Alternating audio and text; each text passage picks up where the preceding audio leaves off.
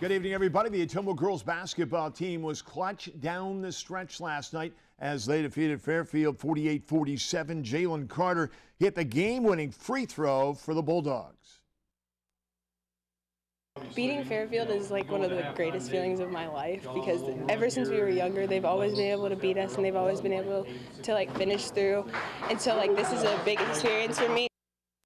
The Kirksville girls continue to struggle on offense. They only scored 23 points last night, but things will get better if they play hard from start to finish. Compete for 32 minutes. Um, if we make a mistake, move on to the next play. I think we did a little bit better tonight, and hopefully tomorrow or Friday it's a little bit better. That's something we're going to focus on every night and trust the process.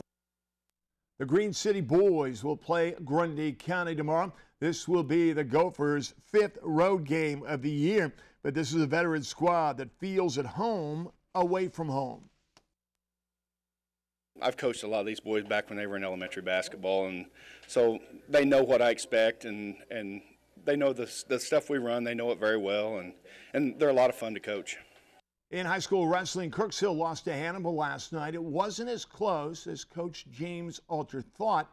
However, Hannibal's always been tough, you know, and we kind of ran into a hammer over there.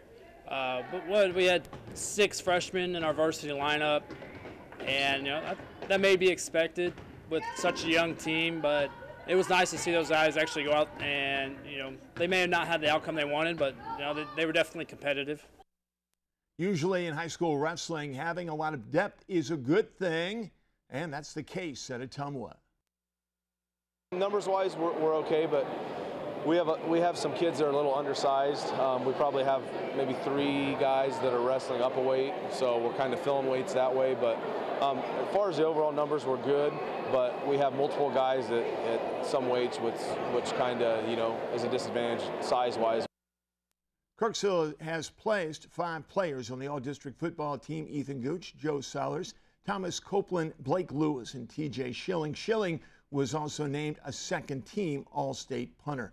The Royals have traded reliever Wade Davis to the Cubs for Jorge Soler, the 24-year outfielder with tons of potential. Teresa's back with final weather. Stay with us.